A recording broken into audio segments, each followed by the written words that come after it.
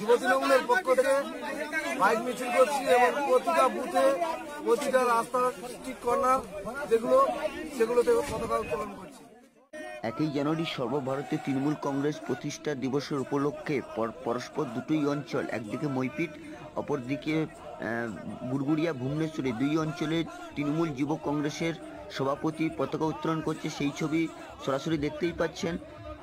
একদিকে মৈপিট পতাকা উত্তোলন হচ্ছে, অপরদিকে গুড়গুড়িয়া ভুবনেশ্বরের পতাকা উত্তোলনের পর্বের পর। দুই অঞ্চল পরস্পরের ছবি আপনারা দেখতেই পাচ্ছেন, সরাসরি দেখতেই পাচ্ছেন। একদিকে মৈপিট বৈকুণ্ঠপুর, অপরদিকে গুড়গুড়িয়া ভুবনেশ্বরী। চলছে বাইক র্যালি এবং সাইকেল র্যালি এবং মহা মিছিল চলছে। আপনারা দেখুন, বিশাল একটি মহা মিছিল চলছে। পরস্পর দুই অঞ্চলে চলছে। একদম মিছিলের সামনে রয়েছেন মৈপিট বৈকুণ্ঠপুর। যুব তৃণমূল কংগ্রেসের সভাপতি পিন্টু প্রধান অপরদিকে যে মিছিলটি চলছে এই মিছিলের সামনে রয়েছেন গুড়গুড়িয়া ভুবনেশ্বর যুব তৃণমূল কংগ্রেসের সভাপতি পিন্টু মণ্ডল।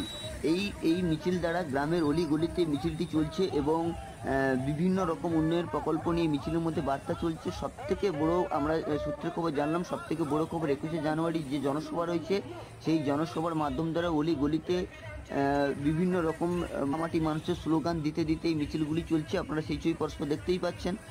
সরাসরি দুই দিকে, একদিকে মৈপুর বৈকুণ্ঠপুর, অপরদিকে গুড়গুড়িয়া ভুবনেশ্বরী। আমরা জেনে নেব মৈপুর বৈকুণ্ঠপুর যুব তৃণমূল কংগ্রেসের সভাপতি পিন্টু প্রধানের কাছে আজকের দিনে কি বার্তা উনি দিতে চাইছেন। আসুন সরাসরি আমি করছি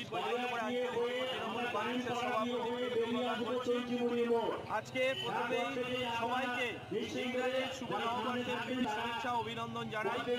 আজকের আমরা মৈপিট বৈকুণ্ঠপুর আঞ্চলিক যুব তৃণমূল কংগ্রেসের পক্ষ থেকে আজকের মমতা বন্দ্যোপাধ্যায়ের তেইশতম প্রতিষ্ঠা দিবস। আজকে সকাল থেকে প্রতিটা বুথে যেভাবেই আজকে মানুষের উল্লাসিতভাবে আজকের যথা মর্যাদায় তারা পতাকা উত্তোলনের মধ্য দিয়ে আজকে তার শুভ সূচনা করেছেন ইতিমধ্যে আমরা মৈপিটের মূল কার্যালয়ে এসে উপস্থিত হয়েছি। সেখানে আমরা পতাকা উত্তোলনের মধ্য দিয়ে এবং সাথে সাথে আজকে প্রায় দুই থেকে তিন হাজার তিন হাজার সাইকেল মিছিল আজকে এখনই আমরা সেই সাইকেল তৃণমূল যে উন্নয়নটা করছে, সেই সামিল হওয়ার জন্য